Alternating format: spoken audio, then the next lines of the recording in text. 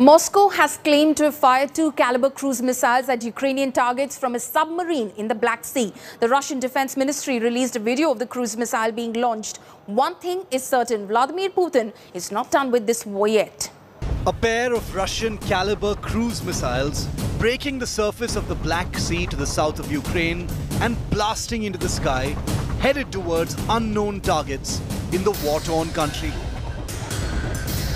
The missiles launched from beneath the waves by a Russian Kilo-class submarine.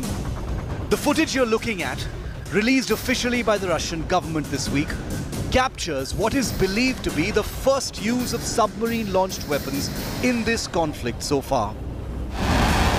Caliber cruise missiles have been used extensively by Russia so far, but have mostly been launched from surface ships. These missiles, with ranges that run into hundreds of kilometers or more, have been used to target several Ukrainian cities, especially in the southern part of the country. Ukraine's military headquarters claimed this week that three Russian military boats armed with Caliber cruise missiles are currently roaming the Black Sea, awaiting target data to escalate strikes on Ukrainian territory. But Russian ships and boats have been rendered vulnerable in the days gone by, thanks to precision drone strikes being brought to the fight by the Ukrainian Navy. And that's possibly why Russia has now begun using its much less vulnerable stealthy submarines to conduct similar land attack missions using these caliber long-range cruise missiles.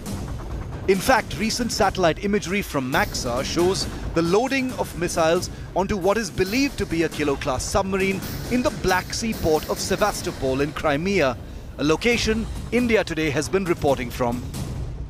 Sevastopol naval base, one of the most important naval bases for Russia, a warm water naval base. You can see the ships behind me very clearly. This is one of the most important strategic positions for Russia.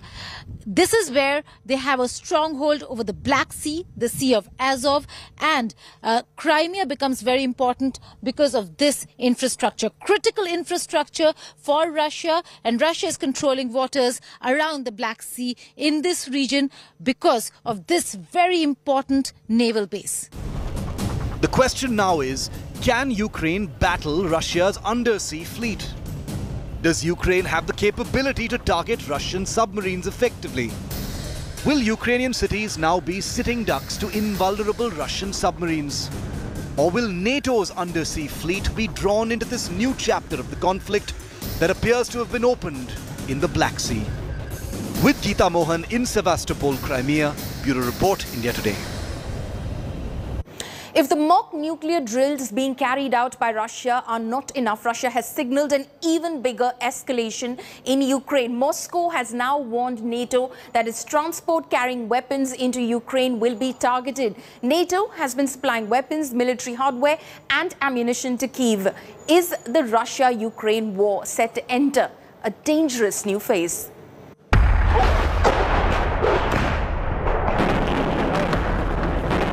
71 days into the Ukraine war, with town after town and city after city either reduced to rubble or falling to Russian hands,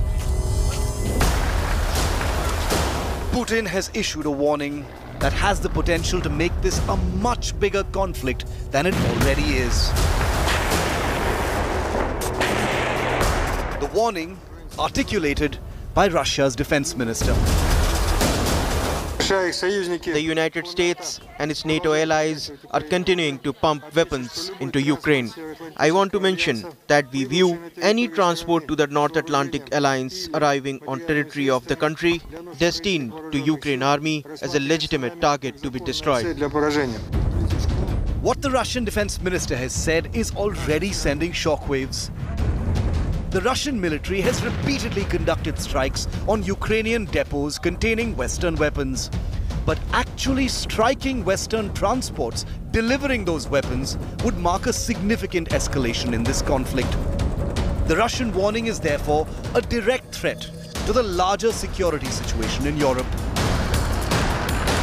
So far, NATO has played a support role in Ukraine, shipping containers full of advanced weapons and ammunition, military hardware and combat supplies across the Polish border into Ukraine.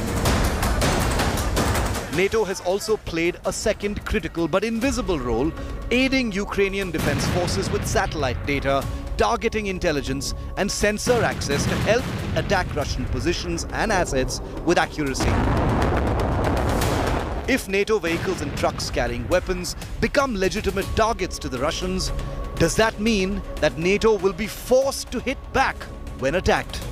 And if that happens, what is the nature of the escalation ladder? And where will it actually end? Bureau Report, India Today.